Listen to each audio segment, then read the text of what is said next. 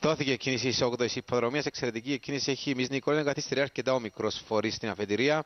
Μις Νικόλ στην πρωτοπορία ακολουθεί ο Black Thunder τώρα από τη δεύτερη θέση. Πιο πίσω Μις Γρηγόρη Μαριλία με Κρίστη Νικόλ και Σουίτ Κωνσταντία σε καλή θέση. Σουίτ Λίντα ακολουθεί Black Thunder τελικά παίρνει την πρωτοπορία και οδηγεί τον Όμιλο μπροστά από Κρίστη Νικόλ, η οποία συγκαλπάζει στην, ε, με τη Μις Νικόλ και ο πίσω είναι η Σουίτ Κωνσταντίνα εξωτερικά η Βίτης Πρίτσες σε καλή θέση. Με γρήγορη Μαρίλια να ακολουθεί στο 600 Black Thunder στην πρωτοπορία Κρίστη Νικόλ.